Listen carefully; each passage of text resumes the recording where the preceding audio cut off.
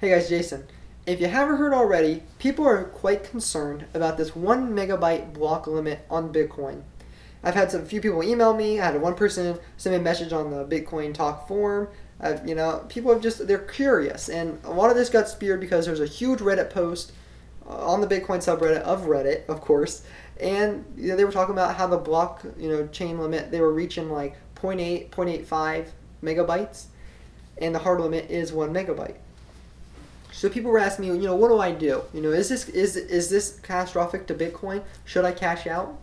No, you shouldn't cash out. You know, this is just one of those issues where the development team and the populace kind of they're both waiting on what to see what happens.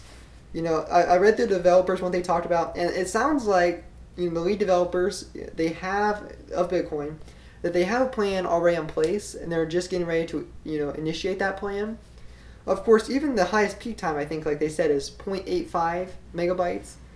But the fear is, you know, if Bitcoin keeps doing so well, keeps getting, you know, bigger and bigger, that this price is going to be worth a lot more. And, you know, the people are going to be sending, therefore, sending more transactions, and it will become an issue.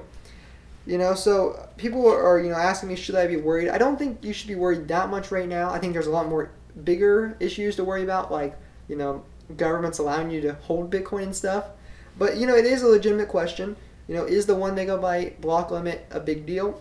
I think it is in you know a, a, short way. I think the developers are, you know have our best intentions in mind. You know, they're invested in Bitcoin. They want to see Bitcoin succeed, and they're just trying to figure out how to fix this. You know, but one of the things that people are so worried about is that say you know during a peak time you have 1.2 megabytes worth of data.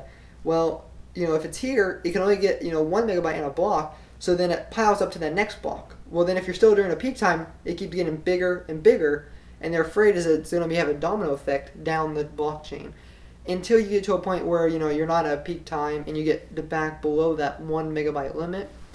It is an issue to worry about, but don't worry. The developers are on the case. They're fixing it right now. Um, one of the things I read was they're working on some bugs right now, and then they're going to move to that issue. Although it is a pressing issue that's coming up, I hope I informed you guys. And hey, have a great day.